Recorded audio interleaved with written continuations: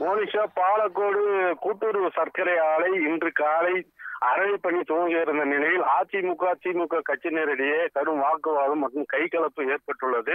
தருமபுரி மாவட்டம் பாலக்கோடு சுற்று வட்டார பகுதியில் இருந்து சுமார் ஆஹ், ரெண்டு லட்சம் ஏக்கர் மெட்ரிக் டன் அளவு திறன் கொண்ட கரும்பு அரைப்பணி இன்று காலை மாவட்ட ஆட்சியர் மற்றும் எம்ஆர்கே பன்னீர்செல்வம் அவர் தலைமையில் துவங்க இருந்த நிலையில் முன்கூட்டியே அதிமுக மற்றும் திமுக கட்சியினர் மேலும் அஹ், முன்னாள் அமைச்சர் கே பி அன்பழகன் மாவட்ட திமுக மாவட்ட செயலாளர் இரு தரப்பினிடையே கைகலப்பு மற்றும் வாக்குவாதம் ஏற்பட்டுள்ளது.